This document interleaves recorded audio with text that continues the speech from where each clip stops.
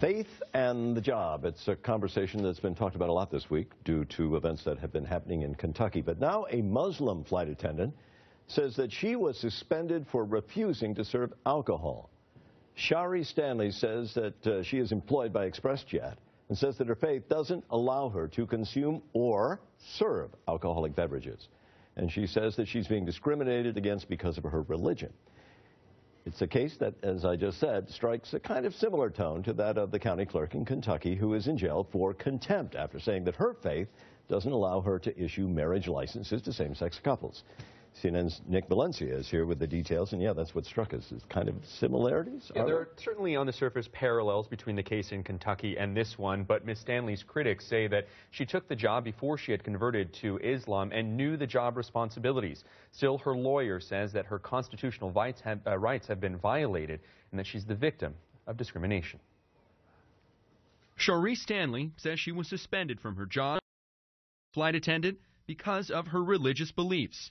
This week, the 40 year old Michigan woman filed a charge of discrimination against regional airline ExpressJet. The issue Stanley converted to Islam two years ago. She says she only learned recently that her faith prohibits her from serving alcohol.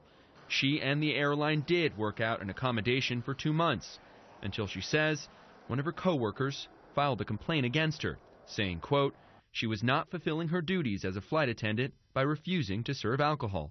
Four weeks later, Stanley's religious accommodation, excluding her from serving alcohol, was revoked by the airline. She was suspended. Her lawyer says her client's, quote, sincerely held religious beliefs should not keep her from being a flight attendant. A spokesman for ExpressJet declined to discuss Stanley's complaint, but in a statement to CNN said, quote, We embrace and respect the values of all of our team members. We are an equal opportunity employer with a long history of diversity in our workforce. CNN aviation analyst Mary Schiavo says a reasonable accommodation for Stanley may be difficult, given she works for a small airline. In the case of the airlines where you have just one flight attendant on a flight of 50 seats or less, the pilot can't come out of the cockpit and serve the drinks. So at the crux of this debate, as you heard Mary Schiavo say, is reasonable accommodation, and that could be very difficult because Miss, uh, uh, this uh, flight attendant, I should say, works for a smaller airline. She could very well be the only flight attendant on that flight, and as you heard there in that piece, you can't have the pilot come back and serve the alcohol to these uh, passengers. So right. Okay. Reasonable accommodation. It is. All right. So it's interesting, and we're going to continue this discussion. Thanks, Nick, very much. Uh, let's bring in Miss Stanley's lawyer now. That's Lena Masri. Uh, Lena, thank you very much for joining us. Let, let, me start by asking you, what do you, what do you base your legal claim on here, and what is it you're seeking for your client? Thank you. And the uh, important point to note here is that the airline itself made the suggestion. We know that this suggestion does not cause any type of undue burden on the airline. Uh, it suggested that in order to accommodate Ms. Stanley's religious beliefs, that she coordinate with another flight attendant on duty in order to ensure that whenever a customer asks for alcohol to be served, that the other flight attendant would accommodate that request.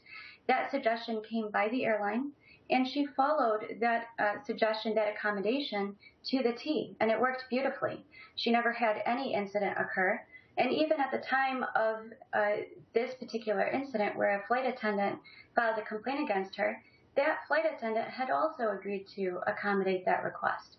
So there had never been an issue that come up with respect to uh, Miss Stanley serving alcohol. But this accommodation apparently has fallen apart for whatever reason, and as a result, the airline is saying now it's they're not possible what to accommodate in some other way. Would would your client be willing to accept, say, some other job with the airline, but not necessarily as a flight attendant? So what happened here is that Miss Stanley, upon learning that she uh, under Islam, the new faith that she accepted, that she cannot serve alcohol, uh, she brought this to the attention of her supervisor.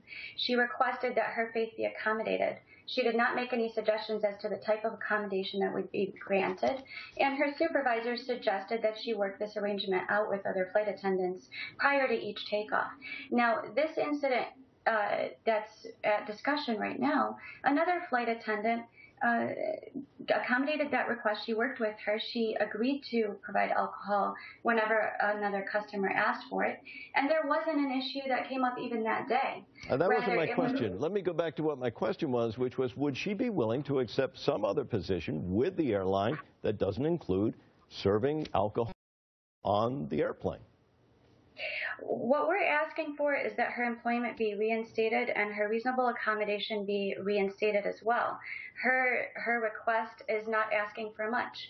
The on that particular that, that depends on the airline. I mean, if you've got two uh, flight attendants, or even just one on some of these small planes, at least that I've seen, that is actually a big accommodation here. So uh, it could depend on the very specific nature of the job she has which again goes back to my question would she accept some other job with the company? Because she knew what her faith requirements were and she knew what the employment circumstance was. Nobody came into this sort of ignorant of what was happening. Well, the, the point is here is that our society places upon employers an obligation to accommodate the religious beliefs of its employees. They are required by law to ensure that there is a safe environment in place and that employees can practice their religious beliefs freely. Um, of course, there are limitations that accommodation must be reasonable, but what we know here is that this is not an imposition on the airline because the airline itself made that suggestion and offered that accommodation. There was never any incident.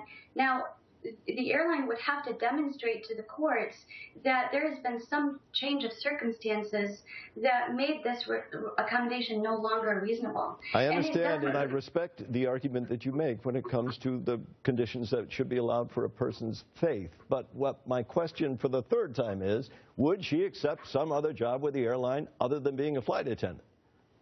She's not required by the law to do that.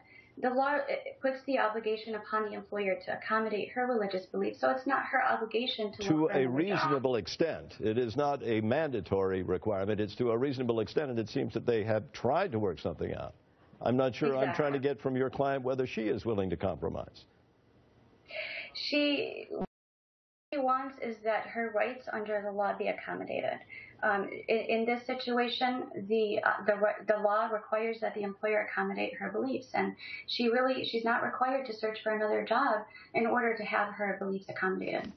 Well, I know this is going to end up in a court of law, and I and I do appreciate it. That's Lena Masri, who is the attorney representing uh, this airline attendant who is now asking to get reinstated. Thank you very much. Thank you for having me.